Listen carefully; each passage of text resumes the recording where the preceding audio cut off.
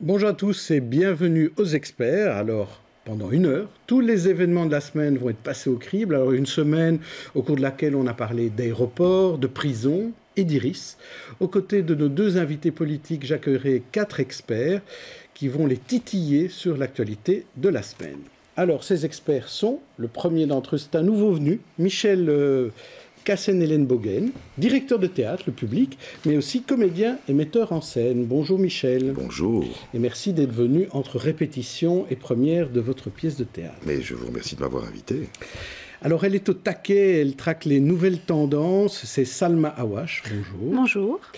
Et il enseigne l'art et la science de la politique à l'UCL. Et il s'occupe aussi d'un site qui s'appelle Dardar. C'est Vincent Laborderie. Bonjour Vincent. Et à propos le crowdfunding de Dardar, comment ça se passe? Ça avance, ça avance, mais on, a besoin d'encore un petit boost pour les, pour les dix derniers jours en fait. Voilà, donc si vous voulez aller sur Kiss Kiss Bang Bang, il faut aller. Euh, C'est ça, vous êtes venu quémander son notre en fait. Alors il boit, il mange et il respire Bruxelles. Il dirige le bureau bruxellois de l'RTBF. François Heureux, bonjour. Bonjour Jean-Jacques. Alors, premier sujet, et j'ai essayé de, de, donner un côté euh, culturel et artistique dans toute l'émission, en l'honneur de de notre expert euh, Michel Cassen, Hélène Bogen, mais aussi euh, d'une de, nos invités, tout particulièrement. Et donc ici, j'appellerais cela une prison doit-elle être ouverte ou fermée? C'est la, la problématique des prisons. Il y a un bourgmestre qui veut, fermer la prison de Forêt. Il y a un ministre qui ne veut pas négocier, en tout cas pas de manière euh, satisfaisante, avec les syndicats des gardiens de prison, des détenus qui souffrent de conditions inhumaines de détention. Alors, euh, je vous propose de regarder tout d'abord un extrait du magazine M, au cours duquel on expliquait ces conditions de détention inhumaines. C'est animé par Sabine Ringelheim. Ce sont des images que vous avez faites à l'annexe psychiatrique.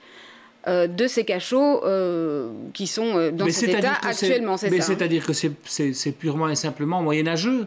Je veux dire que les images que vous voyez là, c'est la description, voilà, ça c'est de la nourriture qui est par terre. Euh, vous n'y mettriez pas votre chien pour le punir dans des endroits pareils. Et donc vous, ce que vous demandez maintenant, c'est la fermeture de forêt. Est-ce que c'est est, possible C'est en tout cas que l'on respecte un minimum euh, toutes les obligations internationales auxquelles la Belgique est euh, attachée, c'est-à-dire le respect de la dignité humaine. Donc je pense qu'aujourd'hui, il faut prendre conscience d'un drame qui va se jouer ou qui peut se jouer et qu'ici on continue à être autiste de cette manière-là, va courir à la catastrophe. Et ça, je pense que il est temps que le politique se rende compte que l'on traite ici avec quasi 400 détenus, dont 90 internés, euh, autant d'agents pénitentiaires et une direction. Et que tous ces gens-là sont en train de risquer leur intégrité physique, leur intégrité morale. Euh, je dis qu'il faut aujourd'hui dire que ça suffit. C'était Denis Bosquet qu'on entendait, Denis Bosquet qui est avocat et qui dirige le comité de surveillance de la prison de Forêt. Alors Michel Bogen, une réaction par rapport à cette actualité des prisons? Ben C'est violent hein, quand on voit ça, parce que euh, comment peut-on sortir d'un espace comme ça et se comporter euh, normalement après? Moi, c'est... J'imagine bien que les gens qui se retrouvent en prison ont fait des conneries, hein, euh, voilà. Mais si c'est pour euh, avoir encore plus envie après d'en faire des plus grosses parce qu'on a été traité comme de la merde, passez-moi l'expression, il y a un vrai problème. Donc voilà, je, pense qu'il faut aller chercher l'argent où il se trouve et qu'on résolve, qu'on mette de l'argent pour que tous les êtres humains soient traités normalement. Euh, ça me paraît, dans beaucoup de domaines, une chose fondamentale, et dans celui-là aussi. Salma Awash? Bah, ça me rappelle ce que j'avais lu une fois sur les prisons, c'est-à-dire qu'on met les gens en prison parce qu'ils ont fait des conneries et on les prive de liberté. Ça, c'est la sanction. Et ensuite, il y a ce qu'on appelle l'addition cachée, donc les conditions de détention. Et, en voyant ça, je me dis que c'est plus qu'une addition cachée, quoi. C'est une addition super salée, super euh, disproportionnée, peut-être pour eux en tout cas, qui n'ont rien demandé. En plus, d'avoir ces conditions en plus. Euh, mais on se demande aussi si de l'autre côté, ils ont d'autres moyens de pression et d'autres moyens de s'exprimer que de faire, d'agir comme ils, comme ils agissent. vous parlez des gardiens. Des gardiens qui font la grève. Donc en même temps, d'un côté, on ne peut pas s'empêcher de compatir pour les conditions des détenus qui sont déjà suffisamment compliquées à la base. En plus, on rajoutait ça. Mais de l'autre côté, est-ce qu'ils ont autre chose? C'est une question ouverte. Mmh. Vincent Laborderie Oui, moi je pense qu'il faut, il faut rappeler que la, justice est quand même un secteur sinistré au niveau, euh, niveau budgétaire depuis des années, et pas seulement en Belgique. Hein. Les, conditions de détention en France sont aussi très mauvaises. Euh, et là, effectivement, avec la grève qui se rajoute là-dessus, on arrive, euh, comme le disait euh, la personne qui parlait, euh, à, un point, on va dire, de rupture où il y a quelque chose de grave qui peut se passer et qui est déjà en train de se passer quelque part. Mais là, les, gardiens demandent de revenir finalement à ce qui se passait en 2014. Donc ils mettent quand même euh, en avant euh, le gouvernement, ils mettent en cause le gouvernement oui, actuel. Oui, bien sûr. Mais ce qui est, ce qui est enfin, intéressant, moi, qui m'interpelle assez, c'est que ce sont les, prisons francophones sont en grève et pas les prisons flamandes. Or, euh, à ma connaissance, les conditions de travail sont exactement les mêmes dans les des deux côtés de la frontière linguistique. Et voilà, moi j'aimerais comprendre pourquoi, pourquoi on a une grève d'un côté et pas de l'autre. Mais... Ça peut s'expliquer, mais tout d'abord, moi, ce qui me fait rire, c'est les prisons francophones, parce qu'une prison francophone à Bruxelles, ça, me paraît toujours un petit peu illusoire. François Heureux ben, c'est un peu une double peine hein, que, vivent ces détenus euh, actuellement. Euh, non sellement bah, ils ont leur peine, hein, que la justice a, décidé, euh, comme l'a dit Michel, ils ont fait, ils ont fait des conneries. Est-ce que pour ça, il faut en plus les, les, parquer dans des, dans des conditions inhumaines? Non, bien sûr. Mais vous savez, ça fait partie de ces de ces vieux dossiers belges qu'on ne résout pas, ou qu'on résout un peu de temps en temps avec un petit pansement, et puis qui reviennent quelques années plus tard. Le bourgmestre de Forêt qui menace de mettre des policiers devant, devant sa prison pour empêcher les détenus de rentrer dedans, il l'a déjà fait. Il l'a déjà fait il y, a, un an, je, crois, il y a environ un an, un an et demi. Euh, menacer de fermer la prison de Forêt, il l'a déjà fait aussi. C'est un problème qui est là depuis des années. Alors c'est vrai qu'on maintenant on a décidé de construire une nouvelle prison, mais voyez où on en est Nulle part. Mhm. Donc voilà, ce, problème va, va, va revenir. Même si on le règle aujourd'hui, il reviendra d'ici quelques mois, d'ici quelques années, à tous les coups. Eh bien, on va quand même demander à, nos invités politiques euh, d'en parler avec nous. On va accueillir ici euh, Fadila Lanan et Christos Doulkeridis.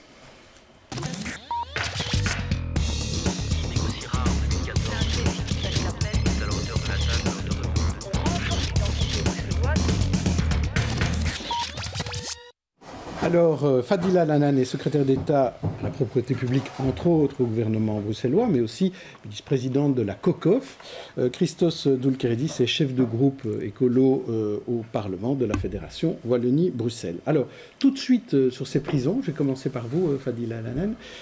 quel est, votre sentiment C'est la faillite complète du fédéral que vous allez mettre en avant ou bien un autre type de problématique? Quelle est votre réaction là-dessus? Ben, Moi, je suis en colère parce que d'abord, je comprends les revendications euh, des gardiens, mhm. des travailleurs qui euh, euh, exercent un métier qui est pénible, qui n'est pas simple. ils doivent s'occuper de détenus. Ce n'est pas un travail aisé, surtout vu le contexte, vu la surpopulation de nos prisons. Alors, évidemment, avec les nouvelles mesures que le ministre de la Justice a pris sur le relèvement de l'âge de la retraite, sur le fait qu'il fait des économies sur le personnel, bien évidemment, pour les gardiens, c'est insupportable. Et à côté de ça, vous avez des détenus qui vivent dans des conditions qui sont indignes d'un pays comme le nôtre, comme la Belgique, et où euh, aujourd'hui, euh, ces détenus qui sont là pour payer leur peine ou sont là en attente d'être punis, euh, n'ont plus les repas et le nombre de repas par jour qui est prévu, mmh. non plus accès aux douches, non plus la possibilité de sortir une heure de leur cellule. Alors ils, ils sont pour certains, et notamment dans des prisons bruxelloises comme Forêt, parfois trois par cellule dans 9 mètres, 9 mètres carrés euh, je pense que c'est vraiment quelque chose qui est inacceptable. Donc il faut que le ministre de la Justice fasse un effort et qu'il entende les revendications des gardiens pour qu'ils puissent réassurer leur travail. Parce qu'aujourd'hui, ce n'est pas le rôle des polices ni des polices zonales de venir en renfort pour remplacer les gardiens. Il n'appartient pas non plus aux policiers de la police judiciaire de venir faire le travail des gardiens et encore moins ceux de la police de la route qui aujourd'hui ont été mobilisés pour faire le travail des gardiens. Mais ce délabrement n'est pas neuf. Il ne date pas de ce gouvernement. Non, mais ici, c'est encore plus criant. On voit que les économies sont faites de manière importante. Il n'est pas normal que l'on ne tienne pas compte de ces revendications. Christos On peut évidemment critiquer le gouvernement actuel, et il a une part de responsabilité qui est évidente, euh, d'abord dans le dogme général qu'il défend, à savoir qu'il faut sans cesse diminuer euh, les dépenses des services publics, de manière générale. C'est un modèle c'est un leitmotiv qui revient sans cesse, c'est de dire l'État coûte trop cher donc on va faire diminution. Puis chaque fois qu'on sort un, dossier et puis l'autre, on se rend compte que le fait qu'on ait fait des économies, souvent à l'aveugle, fait en sorte que euh, tout simplement ça ne fonctionne pas. Alors ici, le problème pour moi est encore plus grave. On peut dire que c'est un problème du gouvernement, mais je pense que c'est un problème de notre société, de notre société belge, occidentale, de manière générale. Et la responsabilité est beaucoup plus large que celle de un ou l'autre parti. Je dirais qu'elle est euh, beaucoup plus fondamentale parce que c'est un dossier dont on sait que finalement peu de personnes vont s'en soucier de ce qui se passe dans les prisons. Si vraiment on allait voir ce, que, ce qui se passe dans les prisons, tout le monde trouverait ça, mais incroyablement inacceptable. On ne comprendrait pas qu'un pays comme la Belgique s'occupe comme ça de ses détenus. Alors bien sûr, la prison, elle doit être là, elle a une, on attend d'elle qu'elle soit une espèce de sanction, une punition pour les personnes qui euh, s'y retrouvent. Mais elle doit aussi être là pour permettre à ces personnes, à un moment donné, qui vont ressortir de prison, d'essayer de qu'ils ressortent un peu meilleurs que quand ils sont rentrés. Est-ce que quelqu'un peut oser croire que c'est le cas aujourd'hui? Personne. Si on est honnête, tout le monde doit reconnaître que c'est exactement l'inverse qui se passe.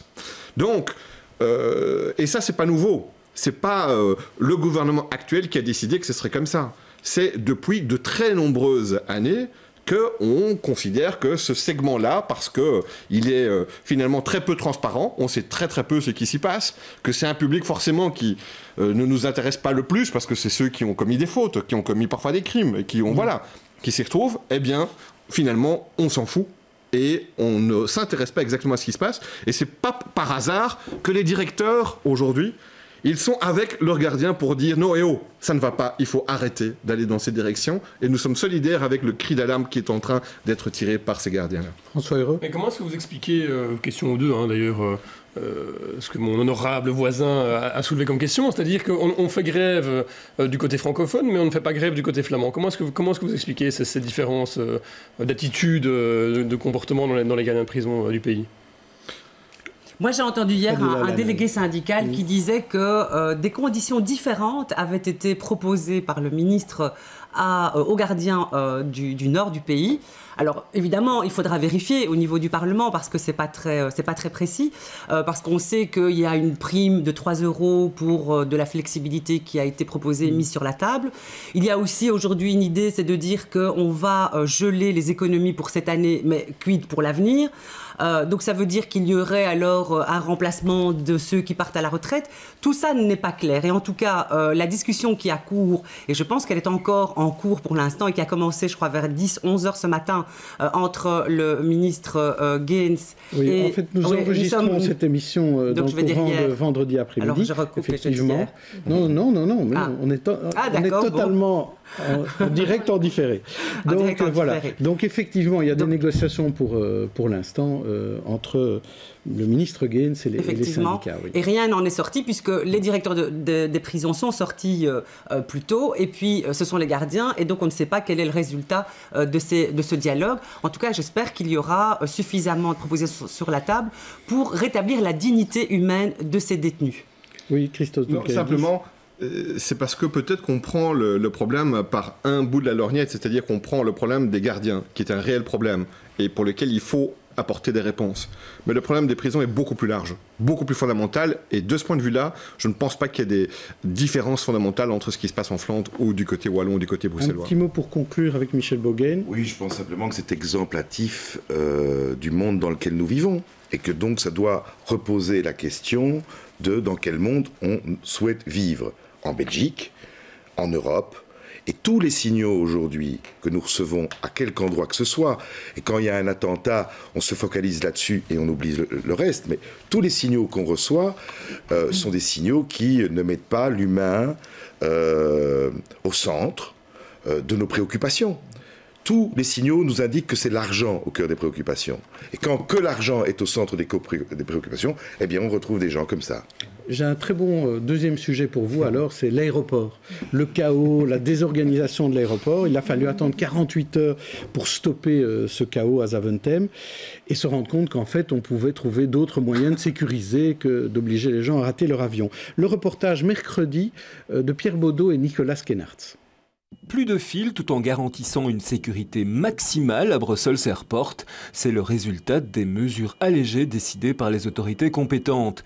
Et ce n'est pas les milliers de passagers qui s'en plaindront. Vous êtes venu tôt avant de prendre votre vol? Quand même, 3 heures, ouais. Qu'est-ce que vous pensez de toutes ces consignes de sécurité? Bah, Je préfère quand même avoir un peu de sécurité. Qu'il soit toujours comme ça. Et euh, pourquoi pas voir euh, ça aussi dans toute l'Europe, pas, uniquement euh, Bruxelles. Avant le hall des entrées, un système de pré-contrôle reste en place, mais il est à présent aléatoire pour les passagers et les bagages. Seul le contrôle visuel reste systématique. Ce contrôle visuel, on l'appelle aussi screening ou profiling dans le profiling, par deux, trois questions, on s'est arrivé à savoir si la personne en face de nous a un comportement normal ou un comportement qui va requérir une analyse euh, plus profonde en termes de sécurité.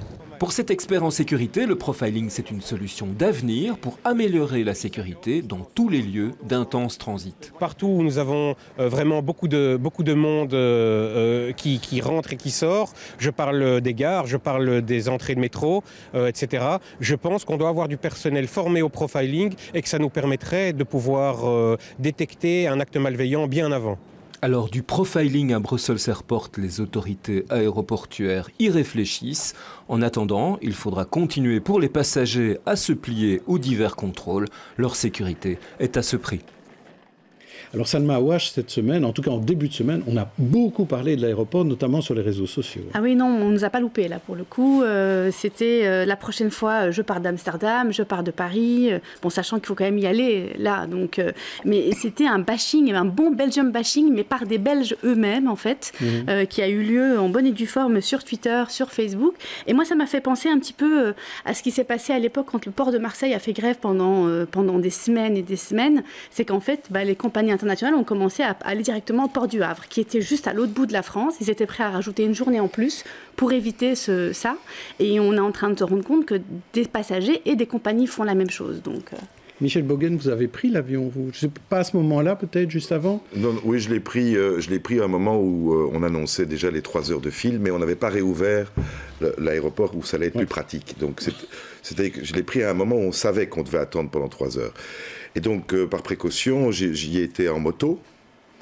Euh, il faut savoir qu'en moto, on est beaucoup moins arrêté qu'en voiture. Donc, c'est déjà une bonne nouvelle. Donc, la, première file de 45 minutes de voiture, j'y ai échappé. Et j'avais beaucoup de chance ce jour-là parce que je faisais un, aller-retour dans la journée et donc je n'avais pas de valise à devoir traîner. Ce qui fait qu'avec la blouse noire, euh, enfin le, manteau noir que j'avais, en disant deux, trois fois sécurité, j'ai pu éviter 2h30 de file. Euh, mais, j'ai vu des gens tétanisés à l'idée que quelqu'un pouvait se faire exploser devant les, les, C'est-à-dire qu'il y a beaucoup plus de monde. Donc, ça pose la question de la peur. C'est-à-dire qu'on est aujourd'hui dans une période où euh, on a tellement peur d'être pris en défaut puisque tout le monde se prend en défaut tout le temps. Hein. Tous les responsables politiques, avec toute l'amitié que je peux avoir, on a l'impression comme ça d'une guerre de prise en défaut. Quoi. Donc tout le monde a tellement peur d'être pris en défaut qu'on mettrait bien un gardien par personne qui, euh, ce qui peut-être d'ailleurs pose un problème dans les prisons, par type qui veut prendre l'avion. Christos Doulkeridis. Euh, ah, moi j'adore les gens sérieux qui euh, font la leçon sur la sécurité et sur ce qu'il faut vraiment faire pour pouvoir je veux dire, c'est des gens sérieux qui nous gouvernent pour le moment au niveau fédéral et qui prennent les décisions. C'est quand même des gens bien de droite qui savent ce que ça veut dire la sécurité. Et on voit le résultat. Je veux dire, c'est risible, c'est ridicule, c'est assez grave. On mélange effectivement, je pense, sécurité et sentiment de sécurité. On veut en rajouter, en surrajouter. Finalement, euh, ceux qui font le plus le bashing contre les Belges, c'est d'abord les Belges. Et c'est pour ça que les autres reprennent euh, ce bashing-là c'est parce que nous-mêmes, enfin, ou eux-mêmes, les autorisent à le faire. Euh, et ce bashing, il sert d'autres. En l'occurrence, on a parlé de l'aéroport euh, d'Amsterdam, de, Schiphol, qui effectivement a déjà récupéré une compagnie euh, aérienne. qui, est quand même économiquement et touristiquement importante pour la Belgique, qu'ils viennent plutôt à Bruxelles plutôt qu'à Amsterdam. mais même au sein de la Belgique, pour prendre d'autres dossiers, ce même bashing, pour élargir euh, le, dossier, euh, qui existe sur Bruxelles pour le moment, eh bien, il profite à d'autres villes en Wallonie et en Flandre. Euh, sur le plan touristique, sur le plan des commerces, sur le plan des... voilà, on voit bien que le fait qu'on tape de manière systématique euh, euh, sur euh, Bruxelles en particulier, bah, il y en a d'autres qui sont là pour pouvoir récolter ça. Et, parfois, on se demande même si ce n'est pas un tout petit peu organisé. Mais pour revenir sur l'aéroport d'abord, il y a quand même eu toute cette discussion entre syndicats policiers et gouvernement fédéral, au moment où les syndicats policiers ont dit qu'il faut une extrême sécurisation de l'aéroport, ce qui été fait. Est-ce qu'on n'a pas finalement trop écouté les syndicats policiers bah, on a dû les écouter parce qu'il y a eu, vous vous souvenez, une grève de la mhm. police euh, après les attentats, que ça a encore mis du chaos au chaos qui existait déjà et que sans doute le gouvernement fédéral a fait un geste de ce côté-là. Mais je pense qu'effectivement, et comme Christos Doulkiridis vient de le dire, on surajoute au niveau de la sécurisation, on reporte en tout cas le problème sur l'extérieur parce que si on fait des fils euh, pendant des heures à l'extérieur, n'importe qui peut se faire aussi exploser à, l'extérieur et donc on ne fait que reporter le problème de sécurité. Donc ici, moi je pense qu'il faut que chacun mette un peu d'eau dans son vin pour faire en sorte qu'on puisse réhabiliter cet aéroport, lui redonner euh, sa capacité totale, faire en sorte que tous les touristes reviennent, que l'économie reprenne le dessus, parce que je pense qu'on souffre déjà suffisamment de la situation que nous avons connue jusqu'à présent. Est-ce que vous ne trouvez pas que cet aéroport est devenu éminemment bruxellois? Parce qu'avant, on disait que cet aéroport était très flamand, et là, tout d'un coup, depuis qu'il y a eu les attentats, il est devenu très bruxellois. On se rend compte que c'est important pour notre économie, et que même les Flamands trouvent qu'il est important que Bruxelles fasse quelque chose. Bien évidemment, parce que c'est d'abord Bruxelles Airport, c'est vraiment euh, déjà une identité, c'est une carte de visite que ce soit Bruxelles, et on sait que Bruxelles est importante parce que c'est le levier d'économie pour les mm. deux autres régions. Et donc c'est clair que tout le monde doit être attentif au fait que si Bruxelles Airport n'est pas à sa capacité totale, si on, elle n'est pas réhabilitée, on va avoir un problème pour l'ensemble de la Belgique. François Heureux. Est-ce qu'on n'a pas fait euh, un peu le même, euh, la même erreur euh, avec, avec la STIB et avec le métro Non mais c'est vrai, le, le métro aujourd'hui tourne à 100%, mais toutes les stations ne sont pas encore ouvertes à 100%. Il y a encore des, des, stations, des, entrées, qui, sont, qui, ne sont pas ouvertes. Mm.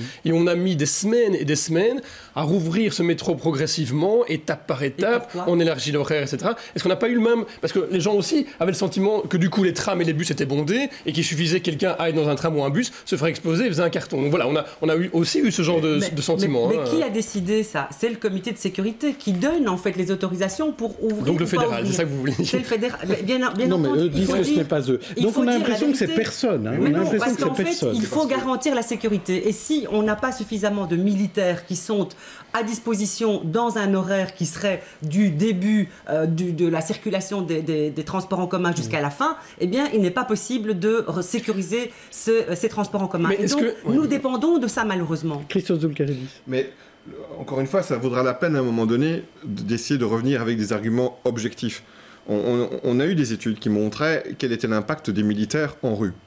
En fait, ces études montrent qu'il est pratiquement, en termes de sécurité, je parle, mm. qu'il est pratiquement nul. Mais en termes psychologiques En termes psychologiques, il est important. Ok, mais est-ce que nos citoyens sont aussi stupides, je dirais, que ce que euh, certains peuvent penser? Je ne pense pas, moi. Je crois qu'il manque de pédagogie, il manque d'explication, il manque peut-être de transparence sur euh, ce qu'il convient réellement de faire et ce qui peut réellement renforcer la sécurité. Alors moi, je ne nie pas qu'à certains moments, évidemment, quand on vient d'être frappé on a besoin de, signes extérieurs aussi pour se dire que voilà, il y a une réaction qui a lieu et donc on doit pouvoir euh, voir physiquement qu'il y a euh, des militaires, des soldats, des policiers qui sont dans les rues. Mais à un moment donné, et très rapidement, et le plus rapidement possible, il est aussi essentiel qu'une société montre qu'elle continue à vivre, qu'elle continue à exister, qu'elle continue sur ses propres valeurs et non pas sur la valeur des autres. Et par rapport à ça, je crois qu'il est temps de tourner cette page d'un discours qui est à côté de l'argumentation réelle et de, de, la réalité. je rebondis sur ce que vous dites, on va tourner la page, on va passer au sujet suivant, où on va parler de l'image de Bruxelles. Donc on va parler de la fête de l'Iris et, de plein d'autres choses, surtout de toutes ces euh, euh, petites, euh, petits événements, petites initiatives que chacun prend pour essayer de redonner une bonne image de Bruxelles et que cette fête de l'Iris soit le démarrage de quelque chose. Alors il y a par exemple ces, ces choux de Bruxelles qui sont placés un peu partout dans Bruxelles. Un reportage de Jennifer Istas et de Nicolas Kennardt.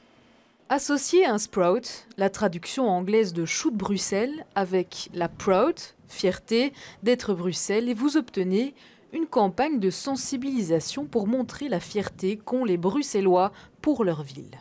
Sprout, ah, Sprout oui, Bruxelles, ok, proud, ok. Mais c'est sympa, c'est original. C'est une bonne trouvaille, oui, je sais pas. C'est très bruxellois en fait, hein, très belge. Vous comprenez pourquoi? Ben, il faut être fier d'être belge après tout ce qui s'est passé, il ne faut pas avoir de, complexe, il faut, il faut relever la tête et, euh, voilà quoi. On est, la capitale de l'Europe, donc c'est quand même euh, important aussi de montrer qui on est et, pas d'avoir de complexe vis-à-vis des autres, euh, des voisins, etc. Pour les touristes, ce chou de Bruxelles intrigue.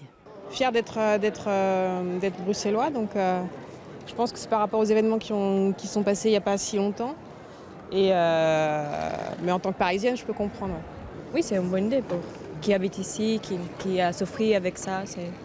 Moi, je viens de Paris, donc euh, il s'est passé exactement pareil là-bas, donc euh, oui, je comprends. En plus des autocollants collés un peu partout dans la ville, des pins ont été fabriqués pour l'occasion et sont distribués gratuitement dans certains commerces de la ville.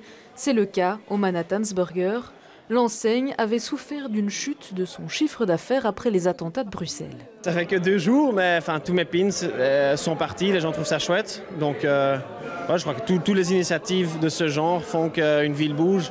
La page Facebook Sprout to be Brussels compte déjà plus de 2600 fans, le début d'une belle histoire pour ce chou de Bruxelles, devenu le plus célèbre de notre capitale.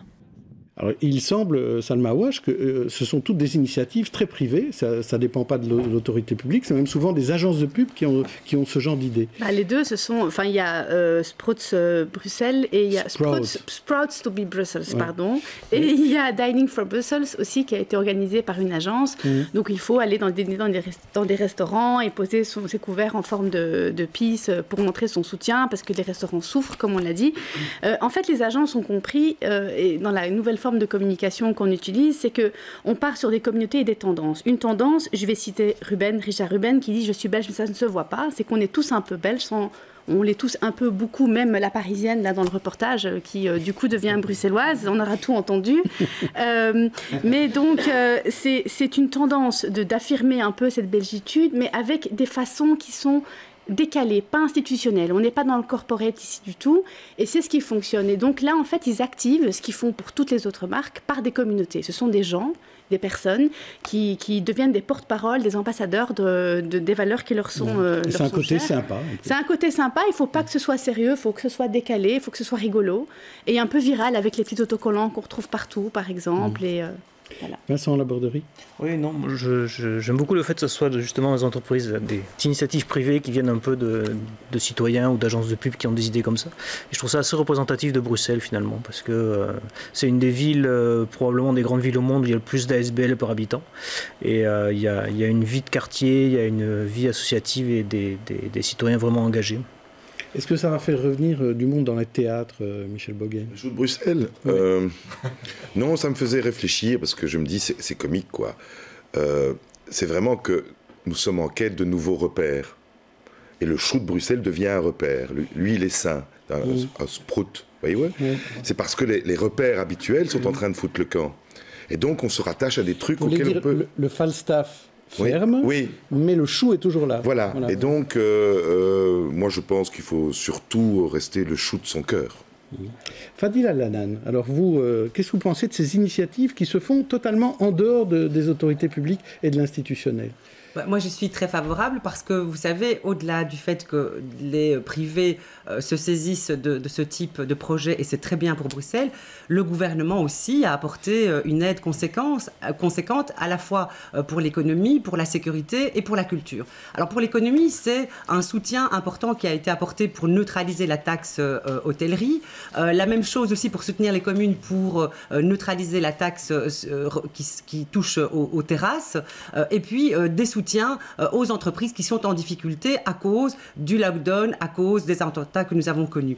Et donc c'est clair qu'à côté de ce que fait euh, le gouvernement, il est important aussi que les partenaires privés, vous savez que l'hôtellerie aussi s'est saisie d'un beau projet puisque ce week-end, les personnes qui vont en pyjama euh, dans les hôtels ont un prix qui est réduit de 50% sur leur mmh. nuitée. C'est extraordinaire. Enfin, c'est l'image de Bruxelles, c'est le côté décalé, hein. c'est le surréalisme mmh. à la belge. Et moi, je pense que c'est important que à côté de nous, les pouvoirs publics, eh bien, les partenaires privés puissent aussi se saisir de ce type de projet sympathique. Christos Doulkeridis, vous aussi, vous voyez ça d'un bon oeil? Ah oui, oui, oui, évidemment. Mais euh, deux, trois choses. D'abord, Bruxelles est très fortement frappée sur le plan touristique, mais ce n'est pas la seule.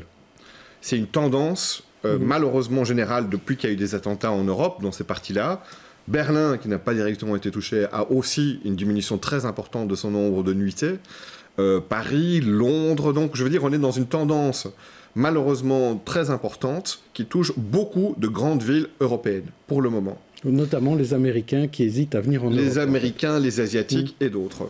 Deux, euh, nous avions fait un travail il y a quelques années pour améliorer l'image de Bruxelles qui n'était pas terrible. À l'époque, c'était pas à cause des attentats, c'était à cause de l'image très frigide que lançaient les institutions internationales. On disait Boring Brussels, une ville très ennuyeuse. Euh, c'était un peu vrai, mais c'était pas tellement vrai parce qu'elle était en fait inconnue parce que les gens identifiaient Bruxelles par rapport aux institutions internationales qui étaient présentes. On a fait un travail avec des résultats très importants. Ça veut dire que si une image peut être détériorée très fortement, comme elle l'est maintenant, on peut aussi l'améliorer. Et je pense que maintenant, il faut passer notre énergie à essayer de l'améliorer à nouveau.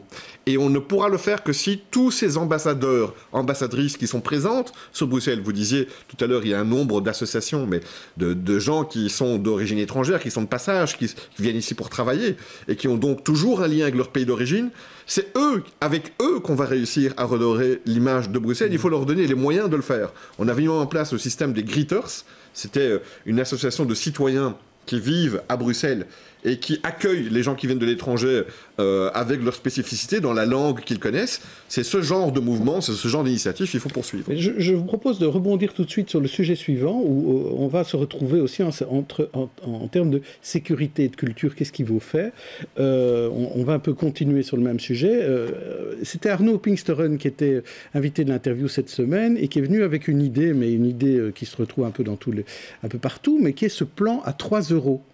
Écoutez ce qu'il disait on pourrait faire un, un, un, système ou un plan, je dirais le plan des 3 euros.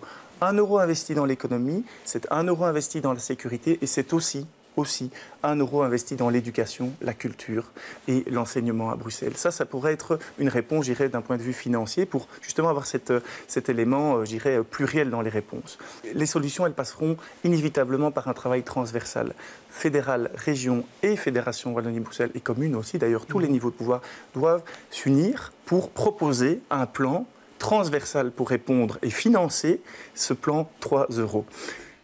Voilà, alors euh, Fadila Lanan, c'est une bonne idée ça. Hein ah, c'est une très bonne idée. Euh, bah, D'abord, je voulais simplement préciser, comme ministre-présidente de la, la COCOF, euh, là, mon budget a augmenté sur un an et demi de 20 le budget culture, donc c'est quand même significatif. On est passé mmh. de 11 à 13 millions.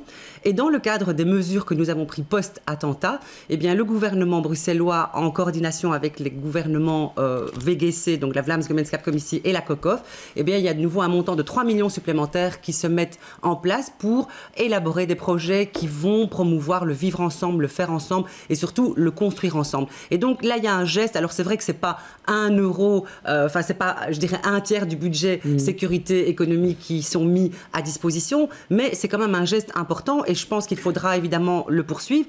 Et ce budget est prévu pour les trois ans à venir, donc ça montre en tout cas qu'il y a un intérêt de la part du gouvernement bruxellois en coordination avec les euh, gouvernements, je dirais, communautaires. Mais euh, Christos Dougherdi, est-ce qu'on peut vraiment lutter contre le radicalisme, par exemple, avec la culture? Vous savez, celui qui... Euh, nous l'avons dit dès les premiers attentats à Paris on a, dans les discours qu'on a tenus au, Parlement, notamment avec Rudy de Motz au Parlement de la Fédération Wallonie-Bruxelles, on a tout de suite dit, évidemment que les premières réactions vont être d'augmenter la sécurité, mais si on ne fait que ça, on s'aligne sur ce que nos terroristes sont en train, euh, sur le chemin que les terroristes sont en train de nous entraîner. On doit absolument renforcer nos valeurs. Et aujourd'hui, le risque, c'est pas seulement les mini-Daesh qui sont dans certains quartiers, c'est aussi les mini-Trump qui sont en train d'émerger. Mmh. C'est-à-dire qu'il y a une montée des haines un peu partout. Mmh. C'est ça qu'ils veulent aussi, ces terroristes. C'est qu'ils veulent qu'on se tape dessus. Ils veulent montrer qu'on ne sait pas vivre ensemble. Or, c'est l'inverse que nous voulons. Et là, la culture, l'éducation permanente, mmh. l'enseignement sont les champions du monde pour pouvoir être efficaces. Ce n'est évidemment pas la sécurité. Et donc, euh, malheureusement, je voudrais quand même un tout petit peu devoir relativiser ce que Fadila Lanan disait. Effectivement, son gouvernement euh, prend des mesures qui vont dans le bon sens, moi je les salue, mais c'est des budgets très très très très limités, elle le sait. Euh, c'est la Fédération Wallonie-Bruxelles, c'est la communauté flamande qui devrait investir là-dedans. Or, si le fédéral a décidé de mettre plus de 400 millions, sans doute beaucoup plus maintenant, sur la sécurité, On attend toujours une réaction. C'est la sixième fois que j'interpelle le gouvernement à la Fédération Wallonie-Bruxelles pour leur demander de pouvoir dégager des moyens pour aller là-dedans. Ils ne le font pas. Et celui qui le revendique le plus, c'est pas un Nicolo, c'est Gilles de Kerkhove, c'est comme ça qu'il s'appelle, je pense, le, le, chef de, de, la lutte antiterroriste au niveau européen. Quand il prend la parole et que vous l'interrogez et que vous leur dites qu'est-ce qui est efficace contre le terrorisme, il dit la sécurité et l'enseignement et la culture. Michel Cassen, Hélène Bogen. Oui, je, pense euh, avoir déjà pris pas mal position sur cette question-là. J'ai dit euh, tout de suite, quand j'ai appris qu'un budget avait été dégagé pour la sécurité, qu'il fallait au minimum euh, prendre 10% de ce budget pour la culture. Donc c'est une évidence. Il faut absolument que... Parce que tout le monde est d'accord en fait là-dessus. J'ai pas entendu une personne dire « Ah non, non ». Hein, il faut passer aux actes. Non, mais à qui on va enlever l'argent pour le mettre à la culture? Non, non, c'est pas à qui on va enlever l'argent. L'argent, il est là. L'argent, il est là. Il suffit d'aller le prendre là où il est. Je dis, c'est tout. Euh, il y, a des. Enfin, je veux dire. Oui, mais ben, entre autres, entre autres dans, les paradis fiscaux, entre autres à, plein d'endroits. Enfin, on sait très bien dans ce pays que si les plus grandes puissances économiques payaient leurs impôts, il n'y a plus personne qui a un problème en Belgique. Plus personne. Donc, arrêtons d'être hypocrites par rapport à ça. Et c'est pas, je veux dire, arrêtons. C'est très important ce que vous dites, si vous permettez, parce que c'est toujours la même réaction. C'est-à-dire que quand on dit qu'il faut... Parce que quand le gouvernement fédéral a dit on va mettre 400 millions pour la sécurité, personne ne leur a dit à qui vous allez enlever cet argent. Et voilà. Personne ne leur a dit ça. si, si, Ici, on leur a dit vous allez dépasser votre déficit et, l'Europe va vous crosser. Et l'Europe, ah qu'est-ce qu'elle a dit? Pierre Moscovici, responsable des déficits européens, a dit nous sommes prêts à exonérer les investissements qui se feront pour lutter contre le terrorisme. Et nous disons que les investissements en culture, en éducation, en éducation permanente, ce sont aussi des investissements qui devraient être exonérés. Mais le plus important, il a été dit. Non, non, attendez. Ça veut dire que donc Rudy Demotte va aller chercher l'argent dans les, dans les, dans, les endroits où se trouve l'argent. Or, il n'a aucune possibilité de le faire. Pas vous demandez de l'argent de la culture qui dépend de la Fédération Wallonie-Bruxelles et elle n'a pas les moyens d'aller chercher. Mais arrêtons de penser comme ça, excusez-moi. Non, je m'excuse. Je vais dire un truc énorme, je ne suis pas très politique. Hein. On a une frontière linguistique. Mhm. Hein ce pays a une frontière linguistique. Et moi, j'entends depuis des années, ah, on ne peut pas toucher à la frontière linguistique. À un moment donné, on l'a créée, hein, c'est des hommes qui l'ont créée. On peut aussi la mettre autrement. Hein. C'est comme quand on entend des trucs énormes en disant, oui, mais, oui, mais c'est légal. Oui, ben on peut changer les logiques de la légalité. Ça suffit, ça, maintenant. Vous parliez tout à l'heure de la diminution euh, des budgets pour la culture.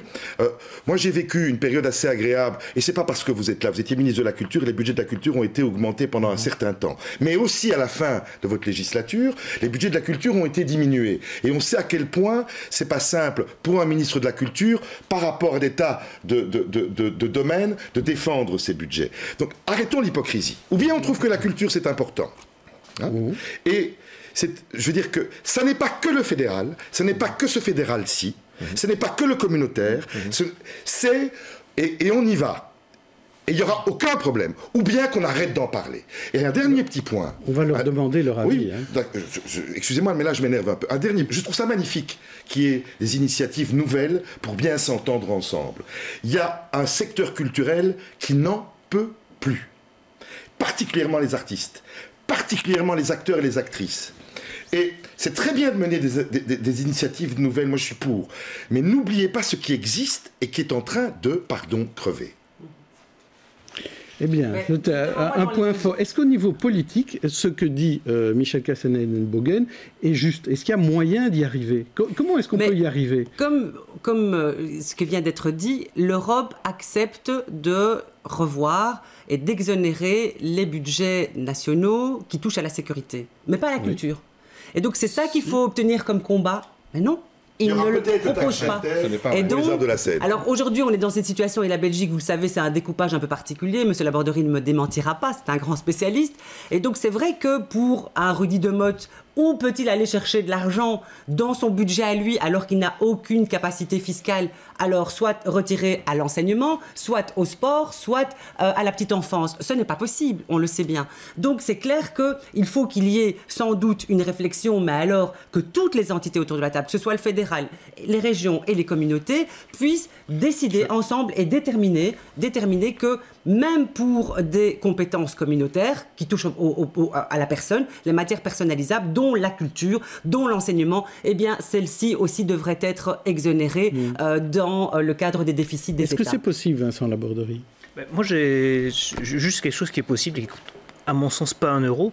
Et c'est une idée qui est dans l'air depuis longtemps. C'est de s'attaquer à une particularité de l'enseignement belge où euh, les musulmans prennent des cours d'islam, les catholiques prennent des cours de religion catholique et les protestants des cours de protestantisme et les athées des, cours d'athéisme.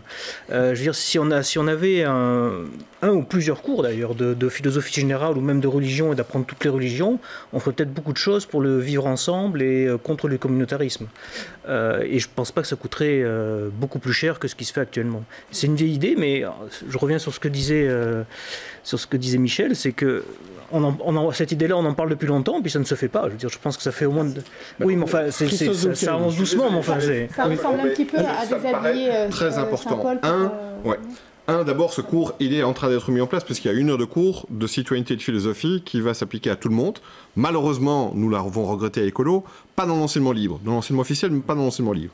Je ne pense pas que ce soit la piste pour régler ce problème de culture. Je voudrais revenir sur le débat de fond, parce que vous posiez la question, est-ce que Rudy Demotte peut faire ça parce qu'il n'a pas de marge sur les recettes et donc ça ne dépend pas de lui? Il y a deux choses qui peuvent être faites. D'abord, au niveau global de la fiscalité, arrêtez de dire que demander d'investir plus dans une compétence, on parle de culture ici, veut dire qu'on va diminuer ailleurs. Le vrai scandale de ces politiques publiques aujourd'hui, c'est qu'on ne va pas chercher l'argent de personnes qui doivent payer des impôts et qui réussissent parce qu'ils ont énormément d'argent, beaucoup plus que les plus pauvres, à éluder cet impôt. Ça, c'est le vrai scandale. Et le système de Panama euh, euh, Papers qui est mis en place et qui montre de manière explicite tout l'argent qui échappe aux États pour organiser justement leur fiscalité est un vrai scandale. C'est à ça qu'il faut s'attaquer. Ça veut dire qu'il est possible, sans changer la fiscalité, d'avoir plus de recettes que actuellement. Deuxièmement, quand on dit que l'Europe accepte d'exonérer les dépenses qui sont faites en matière de terrorisme, l'Europe n'a pas défini quelles étaient ces dépenses. Il appartient à chaque État de dire voilà notre paquet de dépenses particulières que nous allons mener pour lutter contre le terrorisme. Quand vous avez, comme je l'ai dit tout à l'heure, le numéro un de la lutte antiterrorisme qui dit lui-même qu'il faut autant investir dans la sécurité que dans la culture, je ne vois pas pourquoi l'Europe refuserait des dépenses culturelles. Ce que je reproche à Rudy Demotte et son gouvernement, c'est qu'il ne prend même pas la peine d'essayer de faire en sorte que ces dépenses-là puissent être exonérées. Donc, il ne se met pas autour de la table avec le fédéral, puisqu'on est un pays effectivement complexe. C'est pas comme l'Italie qui peut décider tout dans un seul gouvernement. Il faut travailler à plusieurs gouvernements, mais il n'essaye même pas de plaider la cause de la culture, de l'enseignement et de l'éducation permanente. Ouais, je voudrais quand même la corriger défense, ceci, en tout cas. euh, je voudrais corriger ceci. euh, Enfin, savoir qu'au niveau du comité interministériel des ministres du budget de toute la Belgique, eh bien, c'est une des revendications dans le cadre de la trajectoire. Et les communautés ont mis sur la table, et notamment la Fédération Wallonie-Bruxelles et la COCOF, dont je suis la ministre présidente, nous avons mis sur la table aussi des dépenses qui sont liées aux matières personnalisables que sont l'enseignement, la culture et euh, tout ce Pour qui touche lutter contre le radicalisme, démographique. Mais pas pour tout- soutenir la culture et l'éducation permanente. ça participe aussi à cela. Alors, moi, je voudrais quand même poser une question à Vincent Laborderie, parce qu'on n'aura pas l'occasion de parler d'enseignement et du décret d'inscription dont je voulais parler, mais je voudrais quand même lui poser la question sur le changement de ministre euh, qui a eu lieu à la Fédération Wallonie-Bruxelles. Est-ce que le fait que Joël Milquet ne soit pas là change la donne? On voit que le décret d'inscription, lui, euh, il a l'air d'être euh, bloqué, il ne va pas évoluer. Est-ce que le fait qu'il n'y ait plus de Bruxellois au sein du, du gouvernement de la Fédération Wallonie-Bruxelles, au niveau du CDH, va changer la donne? Bon, c'est toujours difficile de faire des prédictions, euh, surtout quand elles concernent l'avenir, comme disait l'autre. Mais euh, ju- juste ce qu'on- peut voir très concrètement euh, qui, qui s'est passé, donc c'est- la, la décision vraiment de Marie-Martine Schins de, contrairement à ce qu'avait dit Joël Mulquet, de ne pas revoir le, le décret inscription. Or, on sait que le décret inscription pose des problèmes en tout cas, et crée, crée une pénurie. euh, enfin, pardon, on, peut discuter de savoir si le décret- d'inscription crée la pénurie, mais en tout cas, le problème est à Bruxelles et pas vraiment en Wallonie. Et, euh, effectivement, on peut penser que ça vient de là, et, très concrètement, euh, au niveau politique, c'est assez compliqué pour le CDH parce que. Vous avez euh, le parti défi ex-FDF qui est dans l'opposition au niveau de, la communauté euh, française Fédération Wallonie-Bruxelles, qui peut continuer à tirer à boulet rouge sur ce décret d'inscription alors que le CDH va subir la critique. Et puis après, il y a une, question d'articulation dans la majorité PS-CDH, où en fait, avec la, démission de Joanne Bilquet, il y a eu quelque chose qui s'est passé, c'est que les infrastructures sportives sont passées du CDH au PS.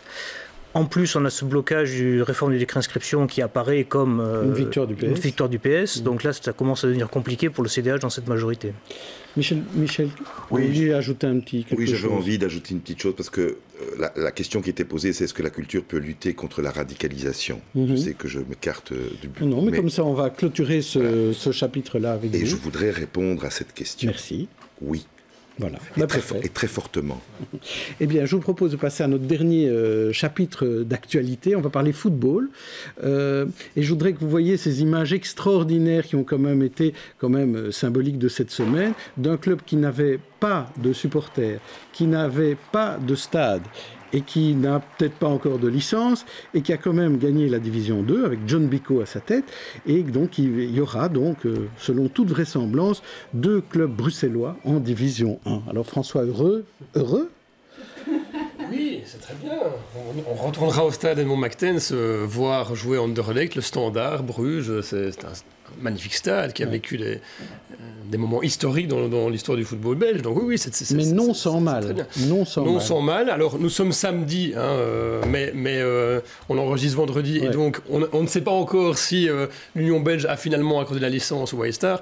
Mais c'est vrai que en l'état de ce qu'on sait du dossier, en l'état actuel du dossier, on ne voit pas pourquoi le White Star n'aurait pas sa licence, sauf si Rebondissement de dernière minute. Voilà, sauf si on nous a caché quelque chose. Ce qui peut encore se, se produire le milieu du football. Peut-être qu'on va demander l'avis des Anderlechtois du fond de la table, en fait, des supporters de l'autre club bruxellois de Division 1. On peut être supporter d'Anderlecht et vraiment se battre et être aussi euh, à fond euh, avec euh, le White Star pour qu'il obtienne sa licence. Mhm. On attend effectivement la décision de la Cour belge d'arbitrage du sport. Et, donc, c'est vrai qu'aujourd'hui, bah, la, commune de, Molenbeek a voté dans un, un conseil communal extraordinaire les deux conventions, donc pour le Et pour le White Star. Donc c'est aussi une volonté de la commune de pouvoir vraiment accueillir ce club comme il faut. Et je pense que pour Bruxelles, c'est magnifique d'avoir deux clubs en D1. Euh, je crois que c'est tout bénéfice. Et moi qui suis frontalière, qui habite en Anderlecht, ben, je suis très contente de retrouver mes amis molenbeekois.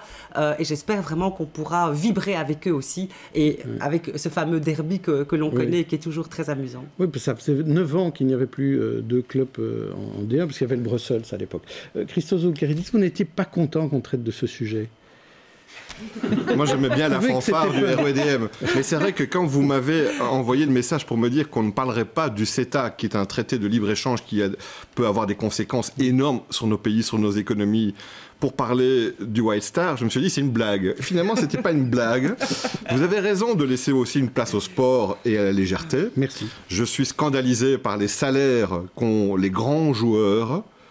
Je le dis parce que on va avoir des Jeux Olympiques bientôt que nos, sportifs qui participent à ces Jeux olympiques euh, crèvent parce qu'ils n'arrivent pas à avoir euh, le, petit financement, les tout petits mmh. financements qui concernent parfois un, un, un, dix millième de ce que peut gagner un grand joueur de foot qui, euh, est au, qui joue au, championnat d'Angleterre, par exemple. non, pas White Star. Au championnat d'Angleterre.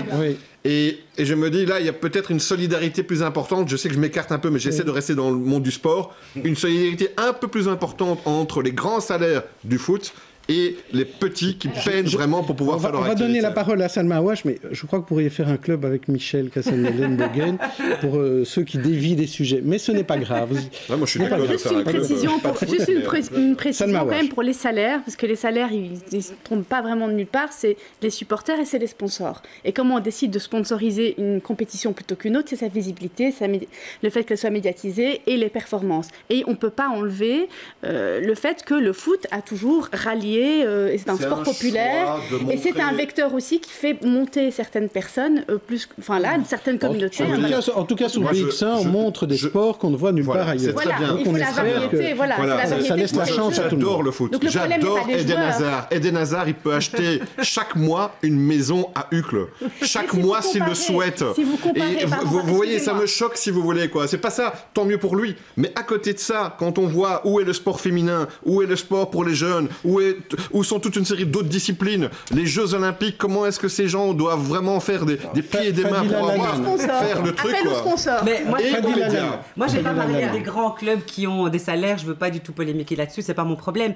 Simplement parce que je voudrais dire, c'est qu'aujourd'hui, au-delà des clubs de division 1, il y a d'autres clubs qui parfois utilisent les, les moyens des cotisations de l'école des jeunes pour payer les salaires des joueurs qui sont dans les équipes un peu plus hautes. Et ça, je pense que c'est un petit souci. Et là, avec euh, les, les, membres du gouvernement bruxellois, euh, nous voudrions quand même euh, renforcer euh, notre euh, soutien à ces écoles de jeunes parce que c'est important. Par exemple, au White Star, c'est 650 jeunes euh, qui jouent au football. Et donc, il faut soutenir cette pratique du sport très populaire, comme on l'a dit. Et maintenant, si Eden Hazard gagne beaucoup d'argent, vous savez, je pense qu'il est aussi un peu philanthrope. Il fait pas mal de choses pour, non, j'appelle, pour la culture, pour le sport, pour la Michel, Michel Bogen. Michel Bogen. Simplement pour dire que moi je trouve ça magnifique qu'une équipe comme ça, sans moyens au départ, par la volonté, euh, la motivation, arrive à se retrouver dans l'élite du football belge. Je me rappelle enfant avoir assisté à des matchs de l'Union euh, et je trouve ça extraordinaire. Je pense en effet qu'au niveau social, ça, c'est magnifique. Je pense aussi, excusez-moi, qu'il ne faut pas se tromper de riche. Je pense qu'Eden Hazard a beaucoup, beaucoup d'argent et que sans doute c'est pas juste par rapport à d'autres qui en ont très peu. Mais les vraies fortunes, c'est pas Eden Hazard, c'est encore ailleurs. Et pourquoi je dis ça? Parce que souvent on focalise sur des riches très visibles qui ne sont pas les vrais riches. Et que moi je voudrais qu'on se focalise. Donc moi je pense, je voudrais dire que c'est pas mal d'avoir pas mal d'argent. Faut pas. C'est ces milliards invisibles qui font tous nos problèmes. Et donc je reviens là-dessus chaque fois. Eh bien justement, on va revenir sur vous, euh, Michel Bogen, parce qu'on va parler de, de, des coups de cœur de nos chroniqueurs experts. On va commencer par le vôtre. Et votre coup de cœur, c'est vraiment votre coup de cœur. Vous allez prêcher pour votre chapelle, pour votre public, puisque vous vouliez parler du malade imaginaire. Ah oui, ah oui. Bah, Allez-y, parlez-en. Je l'ai dit euh, dès le début euh, de cette magnifique euh, invitation. Je suis un artiste donc narcissique et égocentrique. je trouvais tout à fait normal puisque vous me demandiez d'être sincère. Et comme oui, je vais jouer le malade, euh, ce que d'ailleurs les téléspectateurs auront pu se rendre compte très vite n'est pas vraiment une composition, je me suis dit, si je parle d'autre chose, on va, on va encore dire de moi que je ne suis pas sincère, voyez-vous? Et donc la petite expérience que j'ai acquise, entre autres, au contact de certaines personnalités politiques, m'ont fait dire que venez rire. Non, ça pose une question magnifique, ce spectacle. Ça pose la question de l'immortalité. Parce que s'il en arrive là, euh, arguant dans le malade, c'est qu'il ne supporte pas l'idée qu'il pourrait mourir. Et donc ce spectacle aide à accepter l'idée. C'est déjà pas mal. Ça commence quand? Ça commence, euh, premier officiel, mardi prochain. Voilà. voilà. Très bien, mardi donc 10 mai. Et... Mardi 10 mai. Et c'est au théâtre le public. Alors, ah oui. Salma Awash, là, vous n'allez pas nous parler de vous, mais enfin, quoique, vous allez nous parler de quelqu'un que vous avez interviewé. Christos Zoukaratis va être content. Donc, oui. euh, lundi avait lieu les Lions belges, euh, dont Fadil Alanan est, est marraine. Euh, et il y avait une catégorie cette année qui était la catégorie des joueuses de foot. C'était la première année, initiative du président du jury, Nordel Jbari, dont vous êtes collègue, je ouais. pense, voilà. Euh, parce que l'année dernière, Fadila avait raconté, Fadila avait raconté l'histoire, donc elle était venue chercher un prix pour son mari, elle n'en avait pas eu, donc cette année, ils se sont dit, on va faire euh, une catégorie pour ça, et effectivement, la question qu'on avait posée aux, inter aux présidents, euh, à la présidente euh, et aux autres intervenants, c'était qu'est-ce qu'il faut pour que le foot féminin décolle? Eh bien, en fait, c'est un mélange de sponsors, il faut des sous, et de médiatisation, parce que les deux vont l'un dans l'autre. Et donc la présidente du jury que j'ai interviewée, qu'on retrouvera euh, sur Arabelle dans Dame de Pique samedi prochain, euh, a, euh, avait dit, elle aurait voulu avoir plus de choix dans les joueuses, mais que ça vient, et qu'elles sont traînées à un niveau mixte, et qu'après qu'elles sont séparées. Et, et elle s'appelle Ibtissam Boharat, elle a commencé à Anderlecht, elle a Eindhoven maintenant, c'est une fille magnifique, elle est ravissante, elle parle six langues, elle a fait des études de gestion, elle est tout Mais elle joue bien au l'anti-cliché. football. Elle joue très très bien. En plus, oui, parce qu'elle est en, divi- elle est en pro, donc voilà, mal, en plus. Mais en plus de ça, elle investit dans l'associatif. Mm. Elle entraîne des jeunes garçons de, de, de 15 ans, justement, au foot. Voilà. Très bien. Merci Et Salma. D'ailleurs, cette année, ça va faire plaisir à Christos aussi et à moi. Euh, la meilleure joueuse de cette année, Lyon-Belge de cette année, c'est Yasmina Benabid qui joue à Anderlecht. Et donc, je voulais aussi. Bon, on va arrêter de parler de football. Merci en tout cas, merci pour tous ces cadeaux en tout cas. Moi, je m'attendais pas. c'est, euh, Vincent Laborderie, vous vouliez parler d'un livre. Oui, un livre euh, qui est sorti euh, il y a déjà trois ans, en 2013, mais qui est toujours d'actualité, toujours aussi passionnant à lire. Euh, Donc c'est Bruxelles, un voyage à travers le monde. Et ce qui est intéressant dans ce livre, c'est que donc ça parle de, de, vagues d'immigration qui sont arrivées à Bruxelles, mais pas seulement. Le, ça qui est peut-être le plus intéressant, c'est que c'est pas seulement l'immigration depuis 30 ou 40 ans, mais vraiment depuis le début du XXe siècle. Et c'est là qu'on voit que la diversité à Bruxelles, c'est pas quelque chose de nouveau.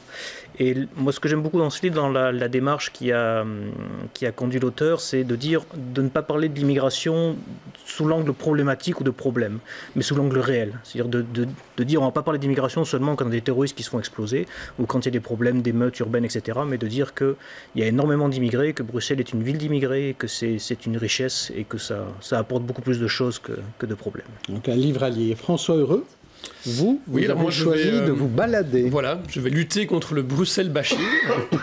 On dit toujours que Bruxelles est un horrible pétonnier, que c'est une ville sale, où il y a des tunnels qui sont fermés et, euh, et où les voitures euh, sont par choc contre par choc. Eh bien, je vous invite Ce n'est pas entièrement faux. Ce hein. n'est pas entièrement faux, mais je vous invite donc à découvrir un autre Bruxelles via la promenade verte que vous connaissez sans doute tous, mais que vous n'avez sans doute tous jamais fait en une seule fois.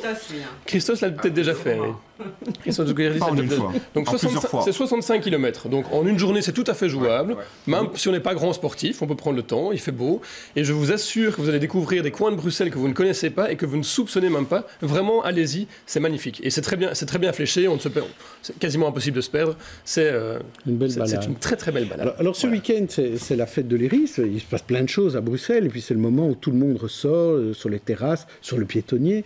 Euh, Est-ce que vous avez quelques conseils, vous aussi, de votre côté, à, à donner à, à nos téléspectateurs euh, Fadila Lanan, une, une idée de sortie particulière euh, à Ce cette occasion? Ce week-end, c'est partout et surtout euh, piétonnier plus parc de Bruxelles où vous avez euh, effectivement euh, un certain nombre d'activités pour la- les fêtes de l'Iris avec des concerts, avec euh, euh, des stands d'animation. Euh, les services publics régionaux bruxellois se mettent au service des citoyens, sont là Vous aussi pour un les village, vous. Oui. vous avez... Et c'est quoi ce village C'est un, ben, un Brussels Corner qui, euh, qui oui, on, on anglicise, hein, Oui, pour semble, faire, revenir des touristes. Euh, et donc, c'est un, un village de, de, de services publics qui se mettent euh, en information et transmettent de l'information à tous ceux qui viennent les voir. Il y aura les services de- du ministère, il y aura Bruxelles Propreté, il y aura les pompiers. Et donc, vraiment, tout le monde se met euh, au service des citoyens pour faire la fête et pour redonner une image positive. En plus, il fait super beau ce week-end. Profitez-en, sortez, euh, profitez de Bruxelles parce que Bruxelles, elle est belle. Alors pour faire plaisir à Michel, peut-être qu'on pourrait installer un bureau du fisc pour expliquer comment aller rechercher l'argent là où il se trouve. Oui. Donc ça, ce serait très, très, une- très une- intéressant. Une nouvelle animation. Voilà, une nouvelle animation pour le fédéral. hein, parce que, Oui, voilà. Christos Zoulkeridis, ou un Moi, conseil pour ce week-end? Euh, Peut-être que c'est le bon moment de, pour ceux qui ne l'ont pas encore fait, de ressortir leur vélo parce qu'à vélo, on profite mieux de la ville. Donc, euh, on a le temps puisque le week-end est un peu plus long. Il fait beau, donc ça nous encourage un peu plus à le faire. Moi, je me déplace presque tous les jours avec mon vélo pliable et les transports en commun. Ça fonctionne tellement mieux, c'est beaucoup plus rapide, c'est beaucoup plus agréable. Moi, j'ai, je, chaque fois que je suis dans le tram ou dans le bus, j'ai l'occasion de discuter avec des gens, c'est vraiment, vraiment très sympa. Donc, profitons-en aussi pour voir autrement et bouger autrement dans notre belle ville. Merci à tous. Je vous promets qu'on parlera du CETA lors d'une des prochaines émissions. On se retrouve la semaine prochaine et le week-end prochain pour une autre émission des experts. Merci.